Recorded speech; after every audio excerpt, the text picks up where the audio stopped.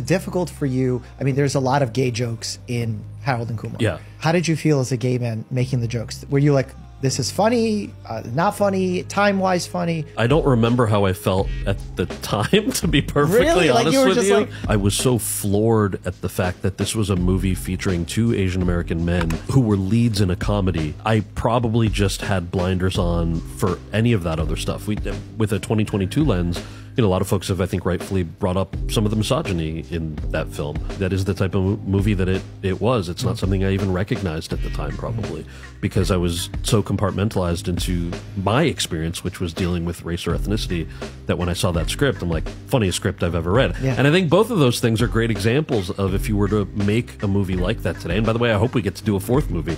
Um, and the jokes would be elevated, right? They would be, they would, I don't think they would be any less funny. I just think they would, they would just be, they'd be more elevated.